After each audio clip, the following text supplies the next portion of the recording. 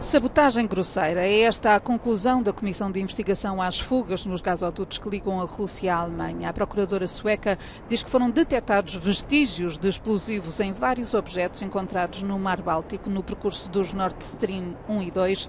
Em setembro, os alarmes soaram com a revelação de quatro fugas nas condutas dentro das zonas económicas exclusivas da Dinamarca e da Suécia.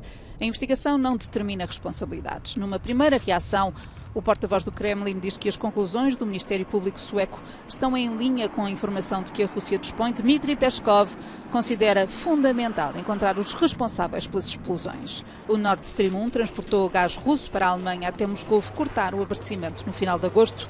O Nord Stream 2 não chegou a entrar em funcionamento. Conhecido o relatório sueco, guardam-se as conclusões da investigação paralela das autoridades dinamarquesas.